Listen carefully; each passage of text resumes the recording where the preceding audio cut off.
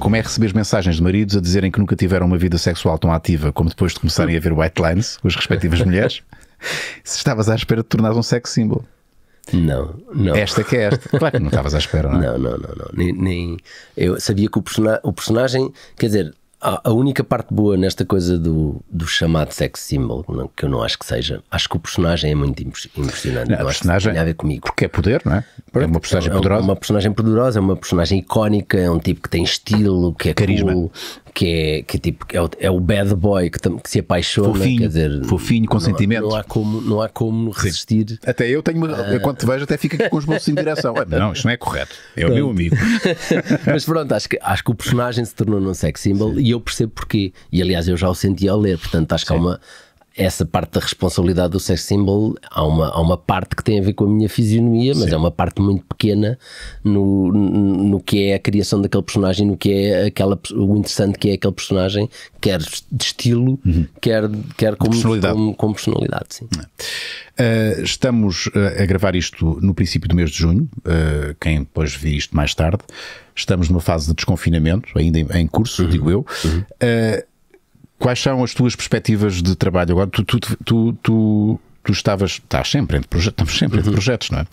Uh, o que é que ficou por fazer? O que é que vais fazer em breve? Como é que tu estás uh, a nível laboral neste momento, tua situação? Eu estava a filmar com o Marco, o, com o Marco Martins, o novo filme dele, eh, chama-se Great Yarmouth Provisional Figures.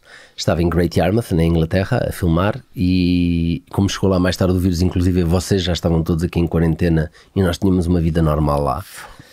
Foi muito estranho, porque de repente houve um dia em que eles disseram: Ok, as fronteiras vão fechar e vocês têm que ir para Portugal, e aqui também vai, vai, os seguros vão deixar de, de poder, vocês vão deixar de poder filmar, porque se acontecer alguma coisa, depois não tem hospital para ir, não tem seguro, e portanto têm que voltar para Portugal. E nós passámos de um sítio onde havia concertos ao vivo.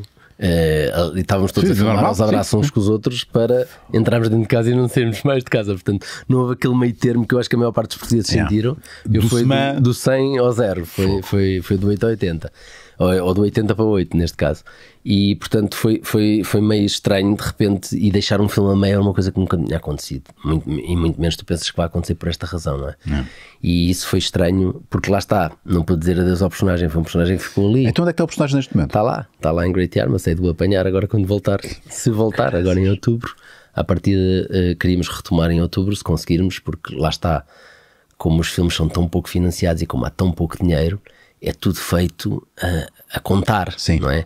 Então de repente a equipa já estava toda em Londres, já tinham sido construídos cenários, em Londres, em Great Yarmouth, já tinham con- sido construídos cenários, então de repente quando há o mínimo acidente que foi isto que aconteceu, agora só levar a equipa toda para lá outra vez é um custo que não estava previsto, portanto agora E que pode inviabilizar o projeto, porque não há- porque não há- completamente o projeto. Portanto, estamos neste momento a tentar criar condições financeiras para voltarmos e acabar o filme em outubro. Vamos ver se conseguimos. Eu, eu- eu tenho que ter esta. epá, tem- é uma curiosidade minha. A tua facilidade com as línguas é extraordinária. Epá, não sei se é uma coisa que, tu é, que foi inata em ti, porque tu no, no White Lines Uhum. tens ali um espanhol eh, irrepreensível, tens um inglês com um accent.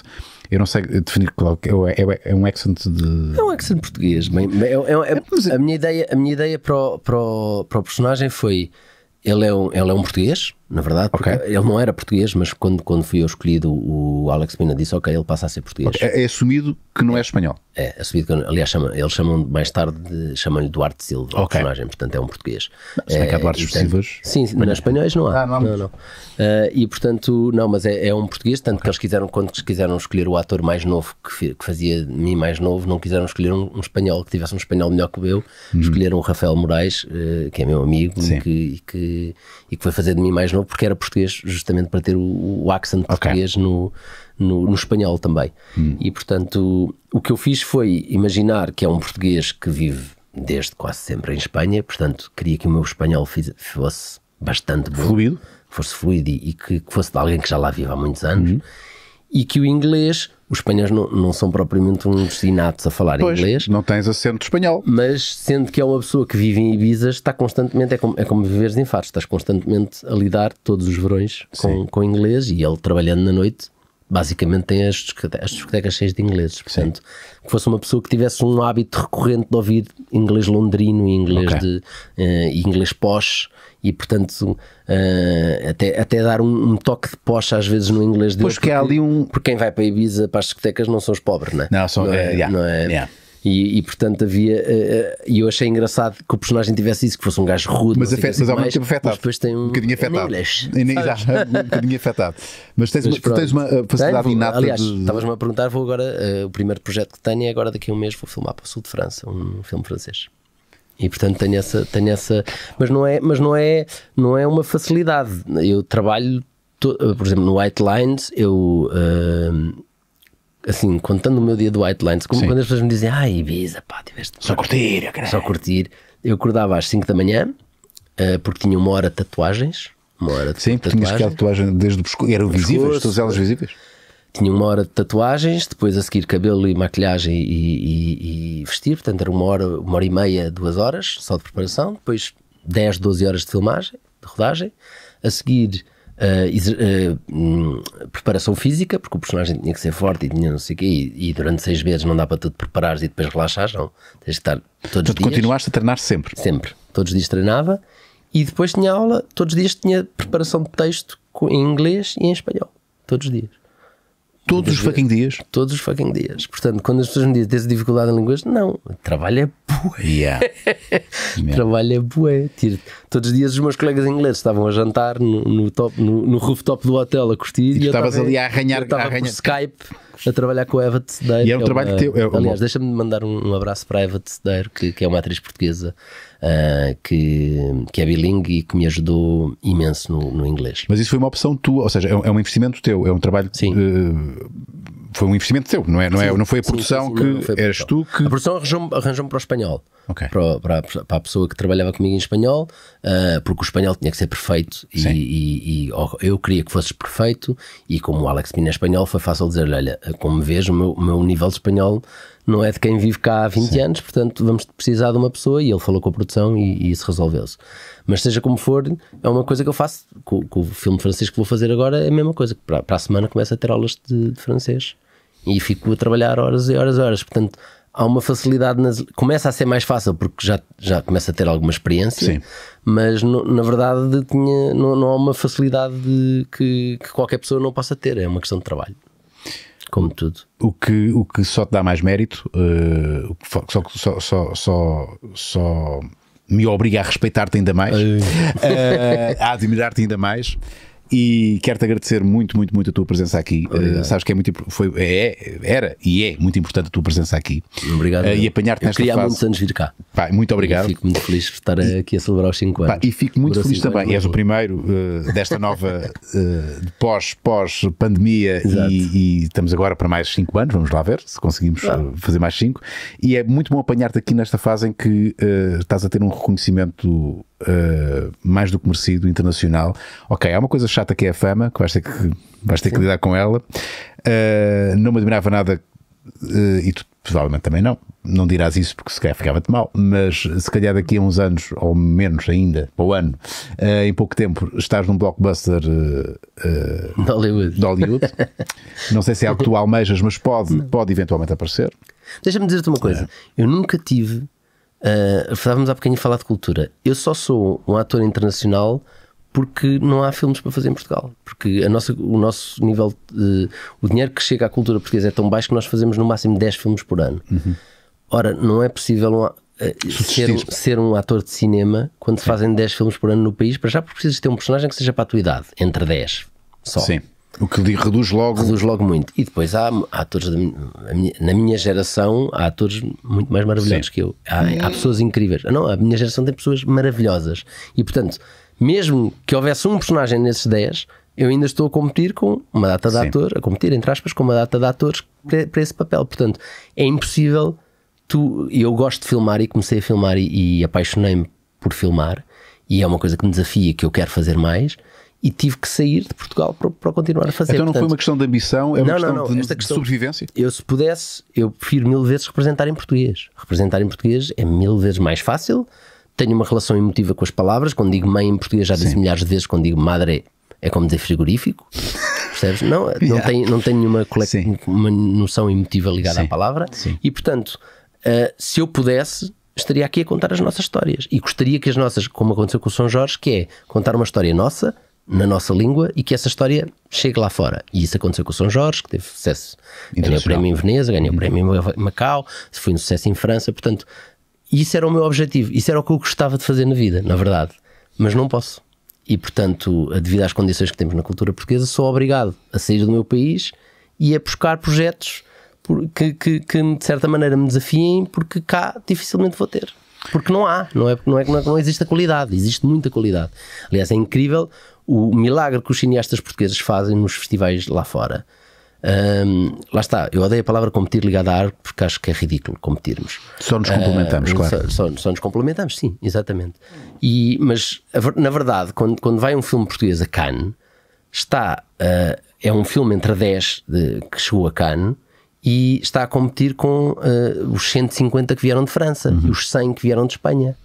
E portanto, quando um, quando um filme português ganha um prémio É lá um, é fora, um feito extraordinário. Sim. é um milagre. É um milagre. É um milagre. É como, é como, quer dizer, comparando com o futebol, que é o que as pessoas ma- mais têm na cabeça, é como jogares com Portugal com dois jogadores na seleção e ganhares a o jogo. França no final, na final. Percebes? É, é o equivalente a isso. E portanto, é, eh, portanto, isto só para responder à tua pergunta, eu não tenho nenhum, nenhum objetivo de me tornar um ator internacional. Tenho o objetivo de continuar a fazer coisas que me desafiem. E infelizmente parece que só vou conseguir lá fora. Olha, eu fico calado porque eh, isso é tão óbvio aquilo que estás a dizer que eu próprio fui. Porque há aquela noção eh, que é, é quase uma. É, é quase um- um- um- uma obrigação, ou é, ou é, ou é, digamos, a continuação, é, é o resultado natural da, da- da carreira eh, queremos ter uma projeção internacional. é? Eh, tu sentir-te-ias completamente eh, satisfeito e realizado a continuar a trabalhar aqui em Portugal em exclusivo. Quando é quase uma cena. É, é um preconceito que eu próprio tenho, aqui assumo, eh, que, que se calhar é natural, todos nós queremos trabalhar lá fora e temos uma dimensão global. Tu tens-la não por opção, não por ambição, mas por necessidade. Por necessidade, sim. O que é triste ao mesmo tempo. Sim, é, é- é só é? triste. É É só só, triste. triste. É só triste. Não tem nada de positivo isso. Bom, tem uma coisa boa. Não, é, bom, é, bom, Eh, é bom agora ter White Lines, vai-me permitir conhecer outras pessoas. Sim. Provavelmente a coisa desta série vai-me permitir poder aceder a outras pessoas com quem eu gostaria de trabalhar. Eu não estou a dizer que recusaria. Vou lá, Sim, há pessoas que- se há coisas se me ligasse o. Scorsese a dizer que queres fazer um filme, dizia, Não, não, não, não, só quero trabalhar um em filme Portugal. Não é isso que eu estou a dizer. Eu estou a dizer é que onde eu me sentiria realmente bem era continuar a fazer coisas aqui. Sim. Isso era o meu objetivo principal. Sim. E portanto é só triste que isso não possa acontecer. É. Estás a ver? Mas e não falo por mim, falo por todos os atores. Sim. E eu sou, tenho consciência disso, sou o grande privilegiado porque para já faço cinema português. Faço alguns filmes em Portugal, o que é extraordinário. É extraordinário. Fazer cinema em Portugal é extraordinário. Um ator conseguir fazer, como eu já tive uns 5 ou 6 protagonistas em cinema português, é um feito. Uhum. É um feito. Porque é tão pouco, não é que eu seja especial, mas é que, com ter sim. conseguido isso é uma sorte. E eu sei que sou, sou esse privilegiado já. Sim. E portanto é muito, é muito triste que um privilegiado como eu esteja nessa situação Sim. de, de- Imagina, ou seja, eu digo isto para dizer a quantidade de outros atores que, que têm mais talento que eu, e quando digo isto, não estou a ser modesto, não estou a ser modesto. Não, há, pessoas, personagens, claro que sim. há pessoas muito mais talentosas que eu em Portugal, eu conheço muitas e que não estão a trabalhar. E que não só não estão a trabalhar, e como nunca vão poder fazer cinema porque não ser atores de cinema do caralho, Sim, literalmente. sim, Peço sim, desculpa pela asneira. Percebes? E portanto é-me é triste. É pá, é só triste. É só triste. É pá, é, é, é triste acabarmos assim desta maneira. Pá, com essa última, esta não pode ser a última palavra deste, deste, deste triste. Eu não quero que isto seja um fim triste. Peço desculpa. Mas às vezes é necessário denunciarmos isto que as pessoas não têm noção. Não, mas sabes que eu, eu digo isto. ah, isto é, é triste eu ter que dizer isto. E eu, eu, Mas é necessário. eu faço sempre necessidade de dizer isto. E, por exemplo, já fui criticado. Ainda ontem fiz um live para a Espanha e fui, fui criticado por algumas pessoas a dizer: pá, estás a dizer mal do nosso governo de Portugal lá fora porque já foste não sei o quê.